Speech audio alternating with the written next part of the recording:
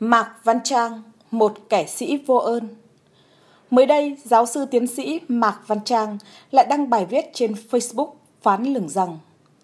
Cộng sản kích động người nghèo khổ lật đổ chế độ cai trị. Nay, những người hiểu biết đấu tranh để thay đổi thể chế cho xã hội tiến bộ hơn. Rõ ràng, đây là một trò hề lố bịch, bôi nhọ vai trò của đảng ta trong sự nghiệp đấu tranh giải phóng dân tộc, chống ngoại xâm, thống nhất đất nước của ông trí thức trở cờ Mạc Vân Trang.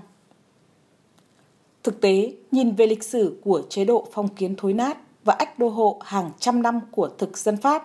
cũng như sự tàn ác với đồng bào miền Nam trước đây của đế quốc Mỹ, là một minh chứng rõ ràng. Nếu không có vai trò lãnh đạo của một đảng chân chính, tiên phong vì lợi ích quốc gia dân tộc, thì không thể đưa đất nước thoát khỏi lầm than nô lệ. Và nếu không có Đảng Cộng sản Việt Nam thì nhân dân Việt Nam sẽ chẳng khác gì Nam Sudan hay Yemen bây giờ.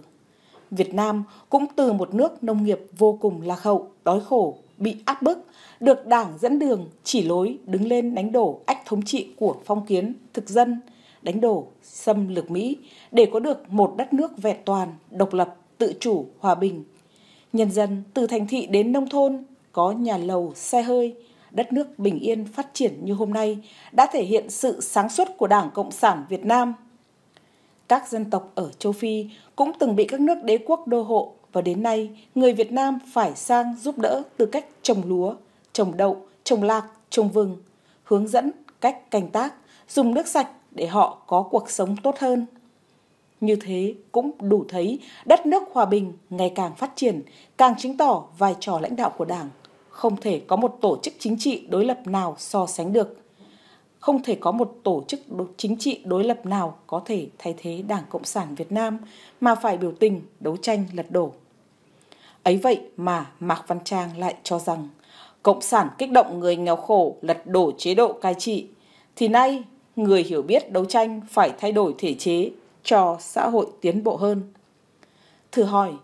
tiến bộ hơn là phải xăm trổ, trịch thượng biểu tình, xung đột vũ trang, xả súng như Iraq, Libya, Afghanistan, Syria, Ukraine, Mỹ hay tiến bộ hơn là một dân tộc đoàn kết bình yên và phát triển như Việt Nam? Đọc bài viết của Mạc Văn Trang, có lẽ ai cũng cứ nghĩ đây không phải là suy nghĩ của một tiến sĩ mà là của một ông già lẫn chữ, suy nghĩ tầm phào, cố tình ăn cháo đá bát, bất mãn, tự cao, tự đại – chửi cả chế độ đã từng nuôi ông thành giáo sư, tiến sĩ. Đúng là kẻ vô ơn, già sinh đổ đốn.